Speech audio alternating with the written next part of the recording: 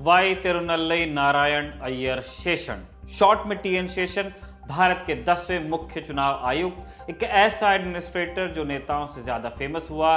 शेषन 1990 से उन्नीस सौ छियानवे तक चुनाव आयुक्त रहे। इस दौर में शेषन के कई कारनामे अब किस्सों की शक्ल में याद किए जाते हैं। मसलन शेषन जो कहा करते थे कि मैं नाश्ते में नेताओं को खाता हूँ। शेषन जिनके बारे में लालू प्रसाद यादव ने कहा था कि शेषनवा को भैंसिया पर चढ़ाकर गंगा जी में हिला देंगे। शेषन जिनके बारे में कहा जाता था कि नेता या तो भगवान से डरते हैं या फिर शेषन से। हालाँकि शेषन का करियर सिर्फ़ यहीं तक सीमित नहीं था। इसके पहले भी शेषन का एक परिचय था, एक लंबा करियर था, जिसके बारे में लोग कुछ कम जानते नमस्कार, मेरा नाम है निखिल और आप देख रहे हैं भारत के ऐतिहासिक किस्सों कहानी से जुड़ा हमारा रोज़ाना का कार्यक्रम, तारीख।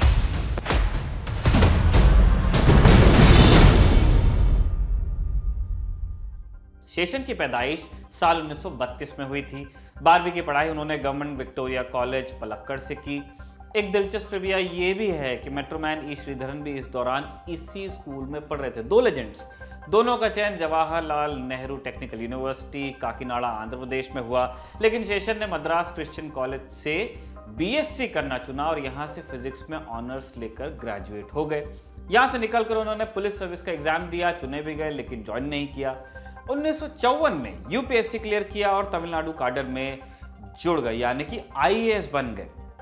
उन्नीस में उन्हें पहली बड़ी ज़िम्मेदारी मिली। उन्हें मद्रास ट्रांसपोर्ट डिपार्टमेंट का डायरेक्टर नियुक्त किया गया। इसी नियुक्ति से जुड़ा है पहला किस्सा हमारा आज का। ट्रांसपोर्ट डिपार्टमेंट में पहली बार शेषन को बड़ी ज़िम्मेदारी मिली थी और आते उन्होंने अपने तेवर दिखाने शुरू कर दिए थे। सख्त आदमी थे ही। ट्रैफ़िक के नियमों को लेकर शेषन काफ़ी स्ट्रिक्ट थे। दुनिया सिद्धि के डिपार्टमेंट के डायरेक्टर खुद सड़कों पर बस ड्राइवर्स को हड़काते हुए देखा जाता था तब। शेषन खुद वर्कशॉप में रहकर सारा काम देखते थे। एक रोज की बात है, एक बस ड्राइवर ने शेषन से कहा कि ना आप बस के इंजन को समझते हैं, नहीं बस चलाना ही जानते हैं। आप किस हैसियत से हमारी समस्याएँ समझ सकते हैं? ऐसा दावा करते हैं आप। शेषन ने इसे एक चैलेंज की तरह लेते हुए बस चलाना सीखा, बल्कि घंटों वर्कशॉप में गुजारे भी। वो कहते थे, मैं इंजन खोल सकता हूँ, उसे दोबारा लगा सकता हूँ और बस चलाकर भी दिखा सकता हूँ। एक रोज उन्होंने बीच रास्ते एक बस को रोका ड्राइवर को उतारा और फिर खुद 80 किलोमीटर तक बस चलाकर यात्रियों को उनकी मंजिल तक पहुँचाया। यहाँ से शुरू होकर स्टेशन की गाड़ी पहुँची हार्वर्ड वहाँ उन्होंने पब्लिक एडमिनिस्ट्रेशन में मास्टर्स की डिग्री ली। यहीं पर उनकी दोस्ती सुब्रमण्यम स्वामी से हुई। ये दोस्ती आगे जाकर भारत के इतिहास में एक महत्वपूर्ण अध्याय रचने वाली थी, लेकिन वो अभी कुछ आगे की बात थी। उन्नीस सौ उनहत्तर में भारत लौटने के बाद शेषन को एटॉमिक एनर्जी कमीशन का सचिव नियुक्त कर दिया गया और उन्नीस सौ बहत्तर में वो डिपार्टमेंट ऑफ़ स्पेस में बन गए ज्वाइंट सेक्रेटरी इस कार्यकाल से जुड़ा एक और किस्सा है। इंदिरा गांधी के मीडिया एडवाइजर रहे एच वाई शारदा प्रसाद के बेटे आरवी शारदा प्रसाद बताते हैं ये किस्सा। वो लिखते हैं कि जब भी उनके घर में शेषन का फ़ोन आता था, एक आवाज़ गूंजती थी। हेलो, मैं स्पेस से शेषन बोल रहा हूँ। दरअसल उसी दौर में एक और शेषन, एन के सेशन इंदिरा गांधी के सचिव होते थे। कंफ्यूजन नहीं हो, इसलिए शेषन कहते थे। मैं स्पेस से शेषन बोल रहा हूँ। शेषन फ्रॉम स्पेस उन्नीस सौ पचासी की बात है, राजीव गांधी की सरकार में उन्हें पर्यावरण और वन मंत्रालय में सचिव का पद मिला। उनके कार्यकाल में पर्यावरण और वनों को लेकर कई सख्त कानून लागू किए गए। इस दौरान उन्होंने नर्मदा और टेरी बाँध परियोजना के पर्यावरण पर हानिकारक प्रभावों को लेकर भारी विरोध भी किया। जंगली जानवरों के शिकार को लेकर भी वो काफ़ी सख्त थे। आरवी शारदा प्रसाद बताते हैं कि इस दौरान एक बार शेषन अपने ऑफ़िस में बैठे थे, तभी उन्हें टीवी पर एक खबर दिखाई दी। वहाँ लिखा था, टू टाइगर्स किल्ड। फिर क्या था? शेषन ने पूरा ऑफ़िस सिर पर उठा लिया। तमाम अधिकारियों को तलब किया गया। दो बाघ मारे गए। कैसे मारे गए? क्यों मारे गए? शेषन कोई बहाना सुनने को तैयार नहीं थे। उन्होंने तुरंत इंक्वायरी बिठा दी। लेकिन इंक्वायरी होती कैसे? खबर असल में बाघों की थी ही नहीं। बात लिट्टे के तमिल टाइगर्स की हो रही थी। लेकिन शेषन का खौफ ऐसा था कि किसी की भी हिम्मत उन्हें ये बताने की हुई नहीं कि सर एक दूसरा टाइगर था। उन्नीस सौ नवासी में राजीव गांधी सत्ता से बाहर होते हैं और वीपी सिंह की सत्ता में एंट्री होती है। शेषन को कैबिनेट सेक्रेटरी का पद मिलता है। बढ़ते जा रहे हैं ऊपर। इसी बीच कश्मीर में अलगाववादियों ने गृह मंत्री मुफ्ती मोहम्मद सईद की बेटी रूबिया सईद का अपहरण कर लिया।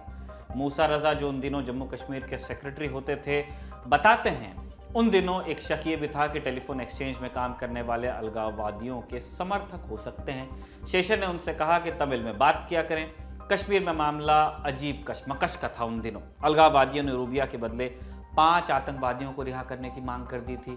मुख्यमंत्री फारूक अब्दुल्ला आतंकवादियों को रिहा करने के पक्ष में नहीं थे, क्योंकि इससे खराब नजीर बन सकती थी। दिल्ली में इस मामले में लगातार हाई लेवल मीटिंग्स चल रही थी। आखिर में तय हुआ कि रूबिया के बदले आतंकवादियों को छोड़ा जाएगा। मुसा रजा बताते हैं कि आतंकवादियों के रिहा होते ही उनके पास शेषन का कॉल आया और उन्होंने रजा को बधाई भी दी। रजा बताते हैं कि दो साल बाद उनके शेषन से दिल्ली एयरपोर्ट की वीआईपी लाउंज में मुलाकात हुई। तब तक शेषन मुख्य चुनाव आयुक्त बन गए थे। रजा ने शेषन से पूछा कि मुझे हैरानी है कि 13 दिसंबर की सुबह जब आपने मुझे आतंकवादियों की रिहाई का अल्टीमेटम दिया, आपके रुख में बदलाव के कारण क्या थे? शेषन ने तब जवाब दिया कि खेल जैसा तुम समझ रहे हो, उससे कहीं बड़ा था, निशाना कहीं और ही लगना था।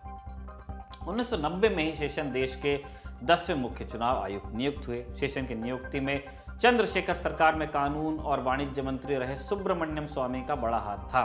टीएन शेषन की जीवनी शेषन एंड इंटीमेट स्टोरी में इस बाबत एक किस्सा दर्ज है। और किस्सा कुछ ऐसा है कि जिस रोज सुब्रमण्यम स्वामी शेषन के पास मुख्य चुनाव आयुक्त का प्रस्ताव लाए, शेषन राजीव गांधी से मुलाकात करने गए।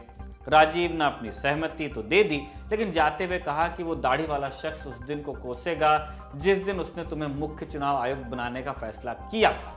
दाढ़ी वाले से यहाँ राजीव का इशारा था, चंद्रशेखर से। चुनाव आयोग बनते ही शेषन के पास वैधानिक शक्तियाँ आ गई, जो कि संविधान से मिलती थी। अब उन्हें मंत्रालय या सरकार से डरने की कोई ज़रूरत नहीं थी। शेषन ने ऐलान किया कि मैं नाश्ते में नेताओं को खाता हूँ। उन्नीस सौ इक्यानवे में लोकसभा चुनावों और उसके बाद हुए तमाम विधानसभा चुनाव में शेषन का असर दिखा, ज़मीन पर भी दिखा। जहाँ गड़बड़ी की शिकायत होती, वो तुरंत चुनाव रोककर नए सिरे से चुनाव की घोषणा कर देते। ताकत थी संविधान से मिली हुई, अभी भी है। फर्जी वोटों पर लगाम लगाने के लिए उन्होंने सरकार के पास प्रस्ताव भेज दिया कि वोटर आईडी पर मतदाताओं की तस्वीर लगाई जाए। सरकार ने इनकार किया, ये कहते हुए कि इसमें तो बहुत खर्च होगा। लेकिन सेशन मानने वाले आदमी थे नहीं। उन्होंने कहा कि जब तक तस्वीर नहीं लगेगी, एक भी चुनाव नहीं होगा। इसके बाद उन्नीस सौ तिरानवे में फ़ोटो वाले वोटर आईडी की शुरुआत हुई। आरबी शारदा प्रसाद लिखते हैं कि नेता शेषन से इतना खार खाए रहते कि उनका नाम अल्सेशियन, यानी कि कुत्तों की एक नस्ल के नाम पर रख दिया गया। उन्नीस में जब शेषन ने बिहार में कई सीटों पर चुनाव खारिज कर दिया तो लालू प्रसाद यादव उनसे गुस्सा हो गए। लालू ने नारा दिया Seshan versus the nation. Seshan पर नकेल डालने की कई कोशिशें हुई और कई लोगों ने की। उनके खिलाफ सदन में महाभियोग चलाने की सिफारिश हो गई, लेकिन प्रधानमंत्री नरसिम्हा राव ने ऐसा होने नहीं दिया। राव को लगता था कि ऐसा करने से जनता में सरकार की छवि खराब हो जाएगी, लेकिन फिर भी उन्होंने एक दूसरा रास्ता निकाला ही। संविधान के तहत चुनाव आयोग सरकार के अधिकार में नहीं थे, लेकिन ऐसा कोई कानून नहीं था कि सिर्फ़ एक ही चुनाव आयुक्त हो। तब राव ने एम एस गिल और जीवीजी कृष्णमूर्ति को अतिरिक्त चुनाव आयुक्त बनाया। सेशन की ताकत एक तिहाई हुई इससे। सेशन सुप्रीम कोर्ट गए, लेकिन सुप्रीम कोर्ट ने सरकार के फैसले को वैध मान लिया। आरबी शारदा प्रसाद, एक और किस्से का ज़िक्र करते हुए लिखते हैं कि एक बार जयललिता की पार्टी एआईएडीएमके के कुछ कार्यकर्ताओं ने शेषन से मारपीट कर ली। शेषन आश्चर्यजनक रूप से शांत रहे। एक पत्रकार ने पूछा कि क्या आपने इसके लिए कोई जवाबी कदम नहीं उठाया क्योंकि आप टीएन यानी तमिलनाडु सेशन हैं। इस मामले में पत्रकारों ने भी उनके घर पर फ़ोन किए। शेषन फ़ोन उठाकर कहते, मिस्टर शेषन उपलब्ध नहीं है। खुद कहते, कोई कहता कि, सर, आप खुद ही फ़ोन पर हैं। तो सेशन जवाब देते, मैं ये नहीं कह रहा कि सेशन घर पर उपलब्ध नहीं है। मैं ये कह रहा हूँ कि सेशन आपको जानकारी देने के लिए उपलब्ध नहीं है। एक बार टाइम्स ऑफ़ इंडिया के पूर्व एडिटर दिलीप पटगांवकर ने उन्हें देर रात फ़ोन कर दिया ताकि सेशन का वो बयान ले लें किसी तरह। सेशन ने फ़ोन उठाया और वापस पटक दिया। इसके बाद शेषन पूरी रात पटगांवकर को फ़ोन करते रहे और जैसे ही पटगांवकर फ़ोन उठाते शेषन फ़ोन को पटक देते। शेषन ने अगले दिन कहा कि जब तक पटगांवकर मुझसे माफ़ी नहीं मांगेंगे, मैं हर रात कॉल करूँगा। शेषन समय की पाबंदी और सफ़ाई को लेकर भी बहुत मशहूर थे।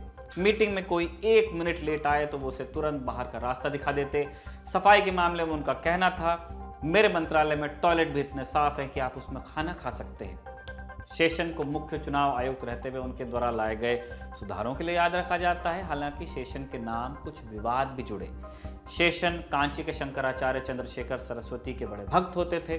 उन्नीस सौ चौरानवे में चंद्रशेखर सरस्वती की मृत्यु हुई। शेषन रातों रात एक प्राइवेट प्लेन लेकर कांची पहुँचे।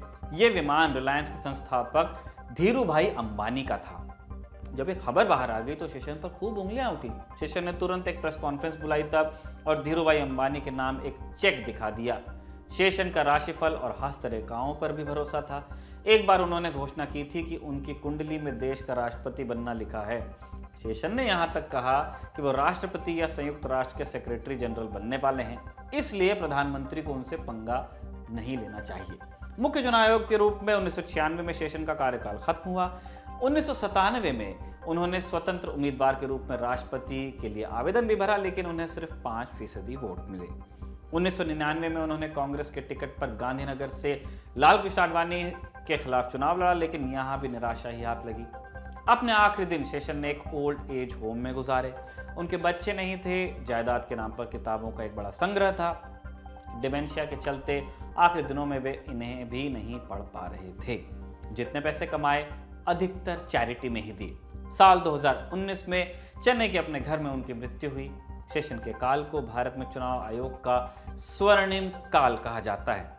नवंबर 2022 में लोगों को एक और बार सेशन की हैसियत का अंदाज़ा लगा, जब सुप्रीम कोर्ट ने चुनाव आयोग की नियुक्ति पर टिप्पणी करते हुए कहा था, जमीनी स्थिति खतरनाक है। अब तक कई सी सीईसी रहे हैं, मगर टीएन सेशन जैसा कभी कभार ही होता है। हम नहीं चाहते कि कोई उन्हें ध्वस्त करे तीन लोगों सीईसी और दो चुनाव आयुक्तों के नाजुक कंधों पर बड़ी शक्ति निहित है।